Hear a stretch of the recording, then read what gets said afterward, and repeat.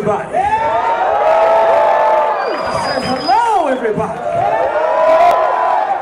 It is good to see you here. It is good to see your faces in the place. So many friends, so many old and new faces. I want to thank you for coming out and supporting us today.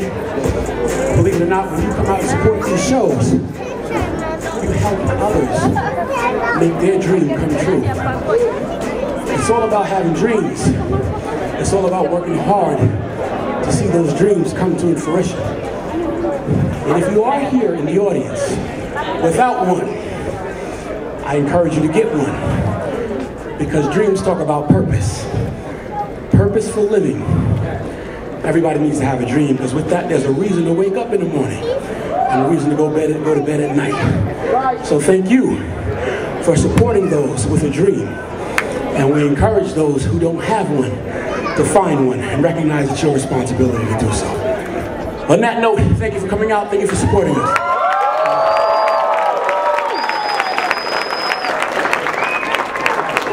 One more time for Mr. Kai Greene.